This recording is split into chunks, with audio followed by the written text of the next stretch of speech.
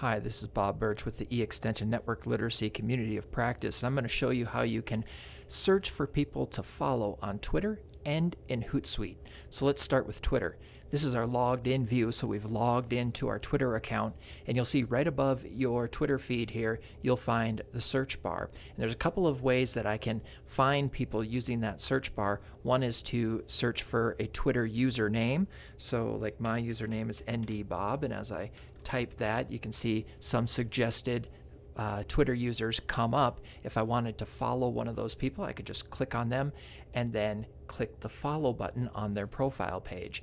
The other way is to actually type in a full name in here. So if I'm looking uh, for someone uh, who I met at a conference or I heard speak or an author that I'm interested in, I can go ahead and just start typing uh, their name. So as I start to type in, you'll see I'll get some suggested searches, some frequent searches that are coming up, and also uh, some suggested users that I could follow that are uh, followed by other people that I already follow or that I already follow uh, myself. And again, I can find the right person. Once I find the right person, okay, uh, that I want to uh, that I want to follow, I could click on them and then go ahead and follow that person. So now let's take a look at doing the same thing in Hootsuite. It's a little bit different uh, in Hootsuite. And the way to do it is to find the quick search uh, icon right up here, the little magnifying glass. And when you click that, you're going to be able to search Twitter.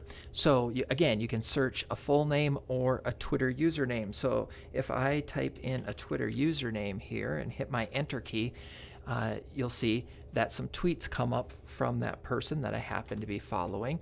But now let's try it with a full name and search that way. And I didn't get any search results. Well, the reason I didn't is because by default, the quick search in Hootsuite searches tweets, it searches Twitter messages. It doesn't necessarily search for users on Twitter. And in order to change that, if I click this little down arrow right here next to the little Twitter icon, I can change that to find Twitter users. Now you can see my search gets changed to look for usernames. Uh, and user profile information. And now you can see that uh, there's a number of accounts that come up for the search for the full name. And again, I could click on any of those accounts in order to follow them. So that's how you can search for people to follow on Twitter and in Hootsuite. Hope you found it helpful.